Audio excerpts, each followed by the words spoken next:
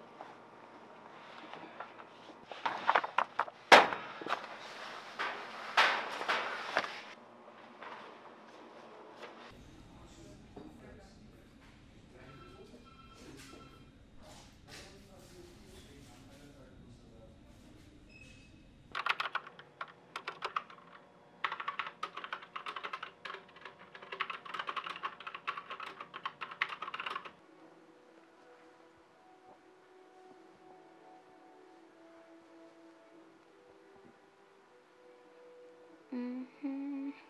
Oh, she looks so cute there. She is so pretty. I know. I know, I know. But even like without makeup. Yeah, she's that's so what I'm cute. saying. Yeah, yeah, yeah. Oh, she's like advertising sunglasses in this picture. Mm, I thought that was a filter. Same.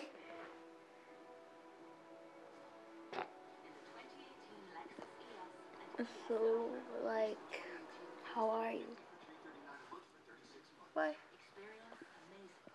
You just seem off. Like the whole day. Been weird. Yeah, I mean, I've been trying to call my mom, but that's weird because usually it's like every five minutes she's texting me. But I don't think you gotta worry about it. I don't think it's that serious. She's probably fine. It's not like she's dead or something.